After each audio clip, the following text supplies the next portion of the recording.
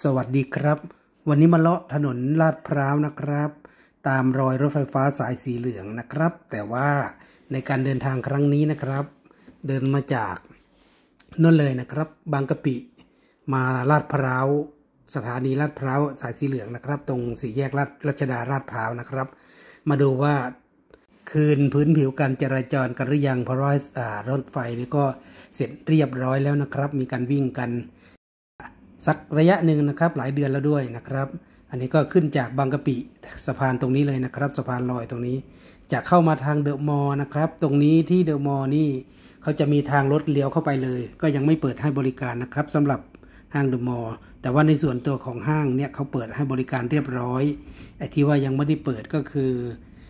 รถที่จะเข้าไปห้างจอดรถในห้างเนี่ย เมื่อสักครู่ที่มีกลวยมีอะไรวางไว้ตรงนั้นนะก็คือ ถ้ามาทางนี้นี่สามารถเลี้ยวเข้าไปเลยนะครับไม่ต้องไปกลับรถอีกทีหนึ่งนะครับ ปรากฏว่ายังไม่ได้ให้บริการตรงนั้น แล้วก็ในส่วนของการคืนพื้นผิวการจราจรเนี่ยก็เหมือนว่าจะคืนกันหมดเรียบร้อยเลยนะครับ ตรงนี้ ในส่วนของลาดพร้าวก็จะมาเป็นทำเป็นระยะระยะนะครับ ก็คือในส่วนของตั้งแต่ บางกะปินะครับ หรือว่าเดอะมอลล์แมคโครก็ได้นะครับ จะมาจากแมคโครเนี่ยก็จะมีเห็นบอกว่ามีการคืนพื้นผิวการจราจรเกือบร้อยเปอร์เซ็นแล้วนะครับ ก็เลยลองมาวิ่งดู ก็ปรากฏว่าจริงนะครับ ตามภาพที่เห็นเลยนะครับ ไม่มีอ่าอ่าไอ้กรวยหรือว่าอะไรวางเกะกะให้เลยนะครับ วิ่งสะดวกมากนะครับ ก็แสดงว่าเขาทำเรียบร้อย แต่ฝั่งโน้นยังไม่เก็บนะครับ มีการเก็บรายละเอียดนิดๆหน่อยๆนะครับ แต่ในฝั่งนี้ก็คือฝั่งจากบางกะปิมาแยกลาดพร้าวรัชดาเนี่ยเก็บเรียบร้อยตามที่ท่านผู้ชมได้ดูนี่เลยนะครับ ฉะนั้นวิ่งทางนี้สะดวกสบายแล้วเรียบร้อย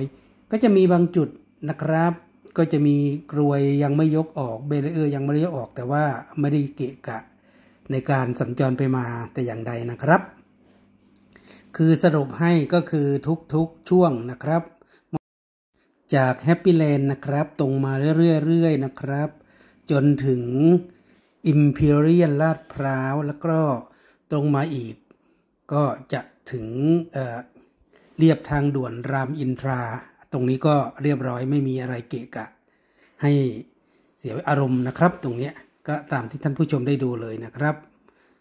เส้นทางตลอดเส้นทางเนี่ย ก็มีอย่างที่เกิดไว้ก็มีแต่ฝั่งด้านอีกตรงข้ามนะครับ คือฝั่งจากลาดพร้าวไปบางกะปิเนี่ยก็ยังมีกรวยมีแบรีเออร์วางไว้ แล้วก็ยังมีการซ่อมบางจุดประมาณจุด 2 จุดนะครับเนี่ยตรงนี้เนี่ยก็ไม่มีอะไรเลยนะครับ ก็จะติดบ้างนิดหน่อยก็คล้าย ๆ ว่าชะลอ เพราะว่ามันจะมีการกลับรถกันนะครับ คือเมื่อสักครู่ได้บอกไว้ว่าเออจาก จากบางกะบางกะปิแฮปปี้แลนด์เนี่ยจนถึงนี่เลยนะครับเรียบทางด่วนรามอินทราตรงเมื่อสักครู่เนี่ยก็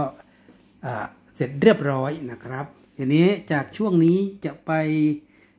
สี่แยกรัชดาลาดพร้าวเนี่ยก็เหมือนว่าเนี่ยตรงนี้ยังมียังไม่ได้เก็บ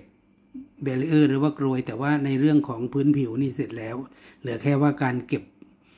คือนิดหน่อยนะครับ ก็เท่ากับว่าเขาก็ทำเสร็จเรียบร้อยหรือหมายหมายความว่าเขาก็คืนผืนผิวการจราจรให้ประชาชนได้สัญจรไปมาอย่างสะดวกสบาย เป็นที่เรียบร้อยนะครับ ตรงนี้นะครับจากช่วงลาดพร้าว 71 มาโชคชัย 4 นะครับ ที่ท่านผู้ชมได้ดูตรงนี้เนี่ยก็เก็บกวาดอะไรเรียบร้อยหมดเหมือนกันนะครับ เรียบร้อย ในการเดินทางก็สะดวกสบาย แล้วก็จะทำแบบนี้เนี่ยครับเขาทำไปจนถึงภาวนาแล้วก็ถึงสี่แยกรัชดาราดพร้าวเลยนะครับ ตรงนี้ก็ยังไงยังไงก็ขอเอาข้อมูลตรงนี้มาฝากนะครับ ก็ได้ข้อมูลจากทางรถไฟนะครับ ก็ก็ลงมาให้เราให้ดูอีกทีนึงนะครับ ก็เห็นว่าเป็นประโยชน์นะครับ ก็เลยไหนๆก็วิ่งมาทางนี้แล้วก็อะ ลองมาดูกันนะครับ ตรงนี้ก็อยู่ในช่วงระระยะทางนะครับ จะถึงรัชดาแยกรัชดาลาดพร้าวนี้ก็ผ่านสถานีโชคชัย 4 นะครับ แล้วก็สถานีภาวนานะครับ ก็เป็นที่เรียบร้อยนะครับ ไม่ค่อยมีอะไรเกะกะขวางการทางจราจรนะครับ ในฝั่งนี้นะครับ หมายถึงฝั่งนี้นะครับ แต่ว่าฝั่งด้านโน้นนะครับ ฝั่งขา จากลาดพร้าวไปแฮปปี้แลนด์บางกะปิเนี่ยก็ยังมีการทำอยู่แต่ว่าเล็กๆน้อยๆตรงนี้ก็เป็นข่าวดีนะครับ ในการเดินทางครั้งนี้ถ้าหากว่าใครมาแถวเส้นนี้ก็จะได้รับความสะดวกสบายในการเดินทางขับรถแบบคลิปตามรอยรถไฟฟ้าสายสีเหลืองนะครับ วิ่งบนถนนลาดพร้าวนะครับ จากบางกะปิแฮปปี้แลนด์ มาที่ต้นทางหรือว่ามามาที่สถานี รถไฟสายสีเหลืองสถานีลาดพร้าวนะครับ ก็ในส่วนของการทำพื้นผิวการจราจรก็เสร็จสำเร็จเสร็จสิ้นนะครับ เป็นที่เรียบร้อยนะครับฉะนั้นเนี่ยไม่ต้องกังวลนะครับ ใครมาเส้นทางเส้นนี้ก็มาได้แบบสะดวกสะดวกเลยนะครับ ครับสำหรับคลิปนี้นะครับ ก็ต้องขอขอบคุณนะครับสำหรับการติดตามรับชม ขาดตกบกพร่องยังไงก็ก็ต้องขออภัยกันด้วยนะครับ โชคดีมีความสุขครับ ขอบคุณครับ